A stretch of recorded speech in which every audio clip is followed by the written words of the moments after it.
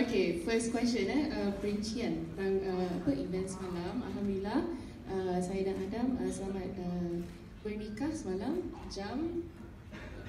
Jam tujuh. 6.45 6.45 Kami sebenarnya nak buat earlier tapi uh, delay sikit sebab hujan. Bertempat di puncak rimba Bentong dan uh, uh, apa majlis tersebut dihadiri oleh uh, family and friends yang terdekat dan uh, alhamdulillah semua berjalan dengan lancar. And uh, yalah today kami uh, decided to do a press conference with all of you. And esok baru um, main reception uh, with apa uh, family and friends main ones